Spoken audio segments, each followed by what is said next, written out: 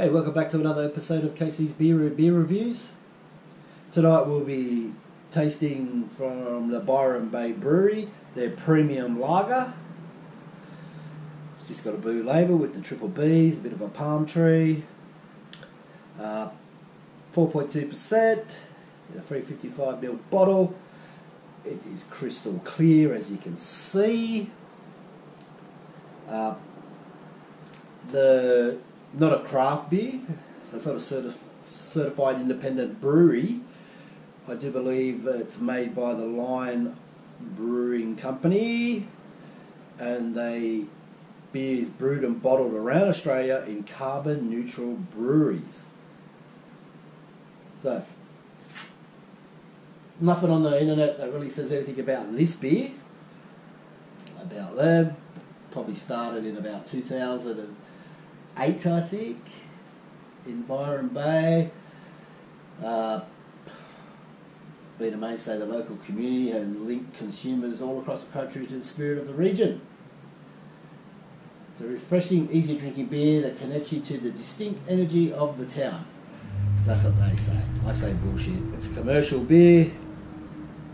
Uh, they've just used the Byron Bay name to give it a bit of uh, bit of pizzazz. Let's go out and drink it. Anyway, let's just get it open. There it is. It's a bit of carbonation once you open it. Inside the bottle top it just says Open Byron. Sorry, there you go, Open Byron, if you can read that. Smell, smells pretty rank straight off the bat. Let's get it in the glass.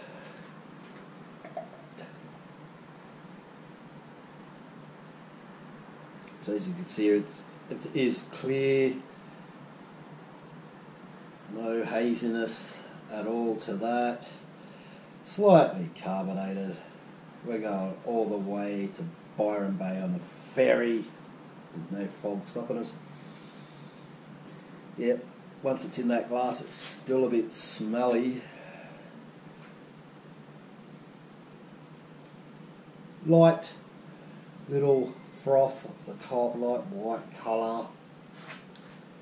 Uh, it is a very straw coloured amber. So let's just taste this stuff because there's nothing else left to talk about it. Think it was about 20 bucks for a six pack.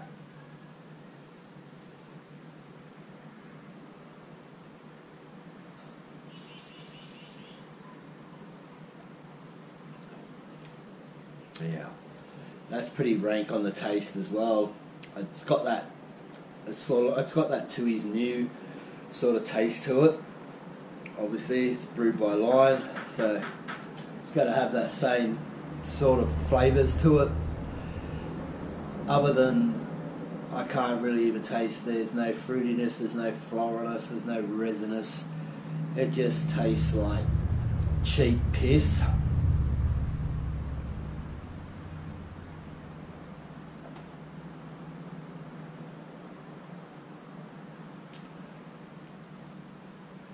I don't know. You think for Byron, they would um, would have given it given it something.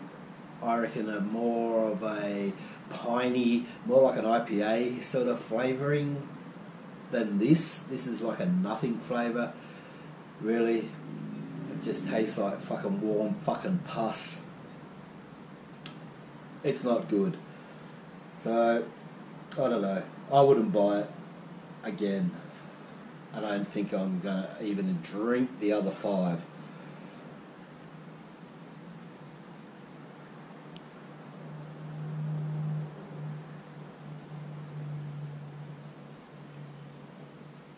It's got that. Uh, other beer I reviewed was the Mornington Peninsula Draft. That's got that sort of cheap taste to it. So I'm not gonna fuck around. Let's just rank this shit. Uh, I'm gonna give it piss poor, bloody piss poor. It's not even fucking worth buying. It's not even fucking worth drinking. It's not even worth fucking sending. But we're here, so don't fucking buy this. This is fucking absolute rubbish. You'd be better off buying a VB, I reckon, or a Carlton Dry, or Carlton Draft.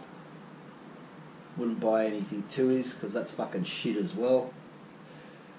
Maybe the old Tooheys old's alright. The rest of Tooheys fucking shit. So, hope you enjoyed this beer review. Don't buy this Byron Bay shit. It's fucking crap.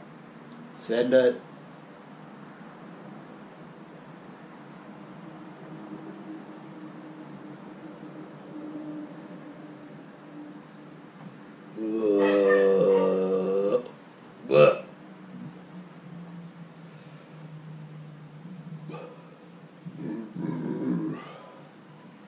That's not good. That is not fucking good. That is fucking horrible.